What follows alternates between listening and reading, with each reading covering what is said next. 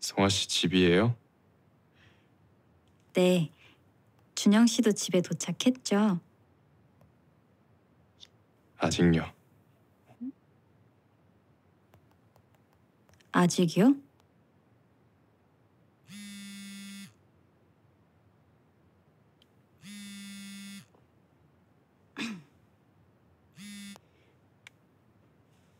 여보세요?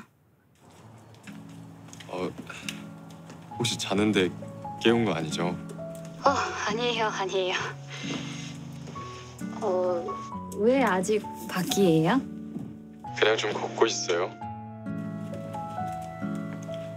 아 뭐 안 좋은 일 있어서 그런 거 아니고요. 그냥 좋아서요 날씨가. 어딘데요? 또 궁궐이에요? 어떻게 알았지? 지금 덕수궁 돌담길이에요. 아, 진짜요? 아, 이 시간에 거길 혼자 걷고 있다고요?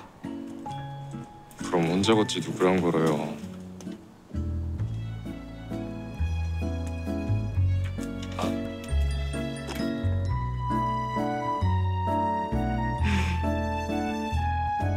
그럼 조심히 들어가세요.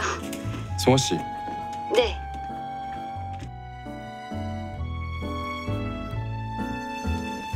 혹시 내일 저녁에 퇴근하고 약속 있어요? 아니요. 아 다행이다. 그 그러면 내일 저녁 먹을래요? 네. 좋아요. 그럼 내일 만나요. 네.